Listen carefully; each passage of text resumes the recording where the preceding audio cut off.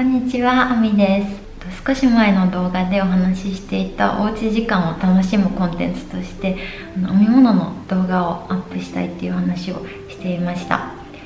で今回はその編み物動画の第1回目をアップしたいと思います。これから編み物を始めてみたいなという方は是非チャンネル登録していただいてでなるべくコンスタントに上げていきたいと思うので一緒に教室にいるような感じで楽しんでいただければと思います。わからないところとか作ってみたいものなどのコメントもいただけたら嬉しいです。わからないところとかは特にあの誰かがわからないことはきっと他の方もわからないと思うので私も参考にさせていただければと思います。私は今オランダのロッテルダムというところに住んでいて2019年の、えー、と1月から移住をして住んでいるんですけどそれまでは日本でワークショップと雑貨のお店をやっていてそこで編み物を約8年間教えていました。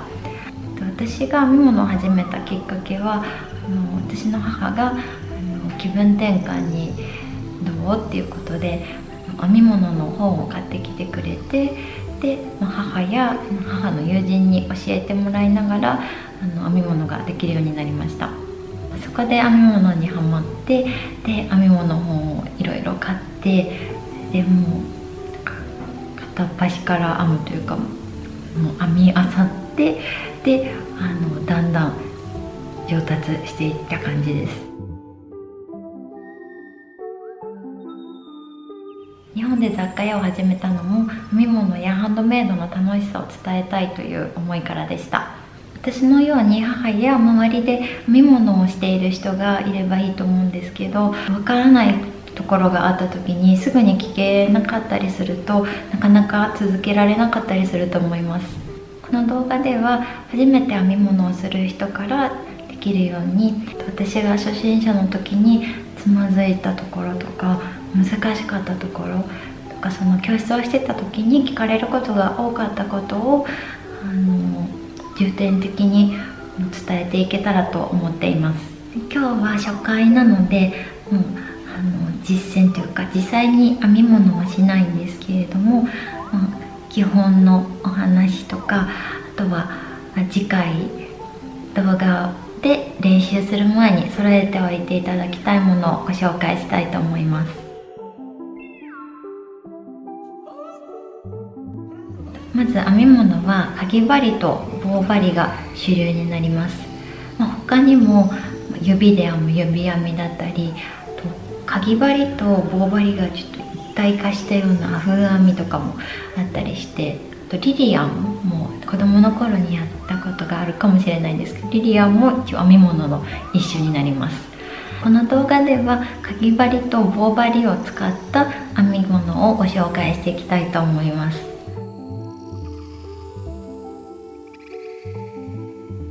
かぎ針と棒針の違いをざっくり説明します。まずかぎ針ですがこれこれがかぎ針棒になります。こっちかな？はい。こんな感じので、えーと、この先の針がこういう感じでちょっとフックになっていてでこれここのフックの部分を毛糸に引っ掛けてこう編んでいくことで、えーと、編み物が完成するという感じです。これは5って書いてあるんですけど5号の針になります。これはちなみに6号なんですけどちょっとずつ太さが変わってきます。かぎ針はアクセサリーなどの小物やレースやドイリーなど伸縮しにくいものを作ることが多いです。棒針はセーターとか帽子とか、えー、手袋靴下のような結構大物を作る時に使います。棒針はちょっと今これ途中まで編んでいるものなんですけどこれはちょっと模様編みの手袋ちっちゃいんですけど を編んでます。2つの棒の針を使ってこう編んでいくっていう感じです、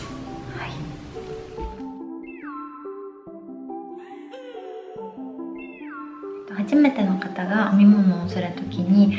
かぎ針か棒針かどっちから始めようって思うかもしれないんですけど私の場合は、えっと、かぎ針から始めてで、うん、セーターとか靴下とか、まあ、一通り棒針編みもやったんですけどあの棒針かぎ針と棒針を比べて多分かぎ針の方が初めての方からやりやすいかなと思うのでかぎ針を最初にやっていきたいと思います。棒針編みの中でもかぎ針を使うことがあるので、まあ、覚えておいて損はないと思うので、はい、まずかぎ針から練習をしたいと思います。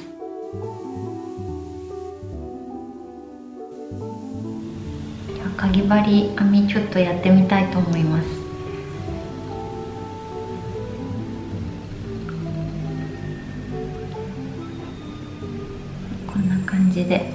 編んでいきます。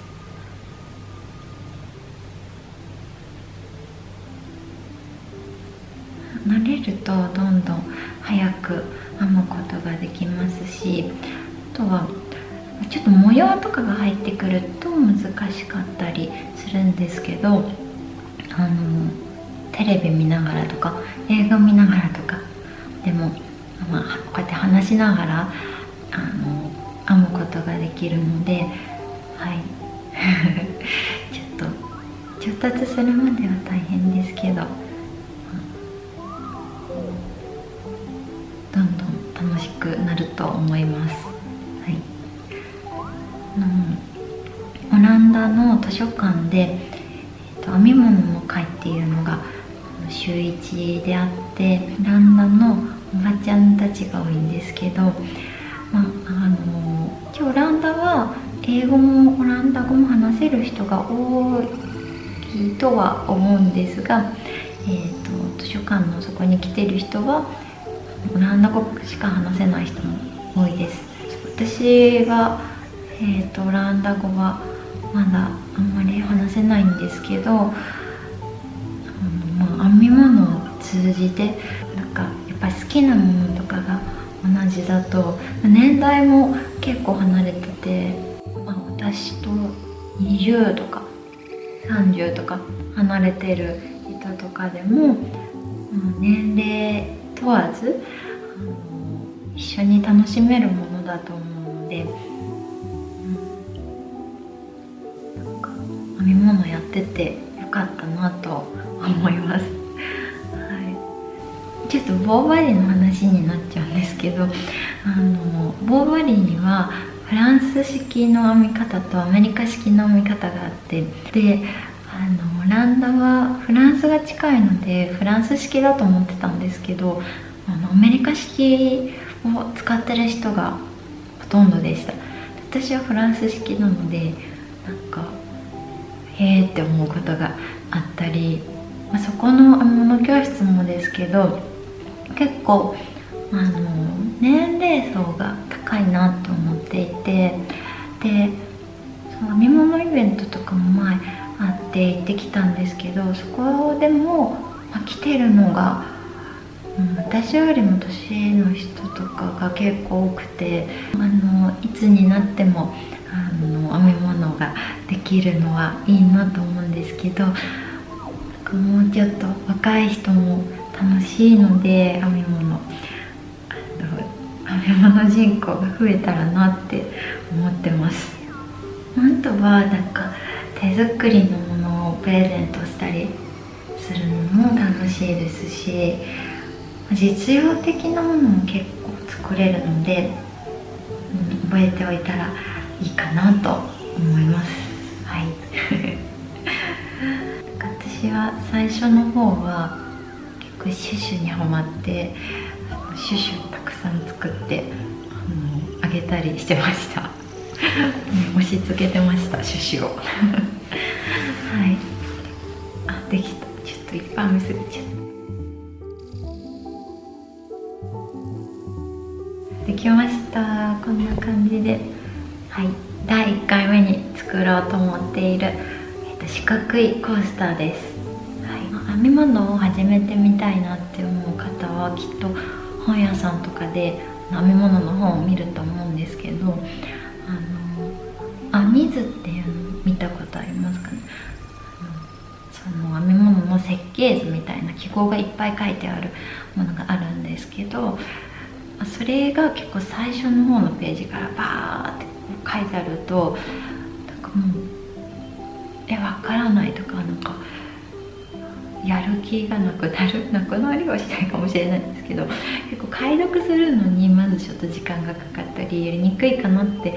思うのでまずこの四角いコースターはあのお水なしで口頭とその実際見てもらいながら進めていきたいと思います。あの雑貨屋さんでやっていた編み物教室の時もそんな感じで最初は、まあ、その編み図は読めなくていいのでとりあえず編んでみようというところからやっていたのでちょっとその方法で最初はやっていけたらと思ってます。はい。で、まあ、最初に作るのがこういう感じの四角いコースターになるんですけど、えーと、これからの季節だとあの冷たいアイスのドリンクとか飲むこともあると思うので、まあ、その時の水滴防止にあの使ってもらったりできるかな？と思います。初めに作るのに最適でかつ使えるっていうものということで四角いコースターにしています。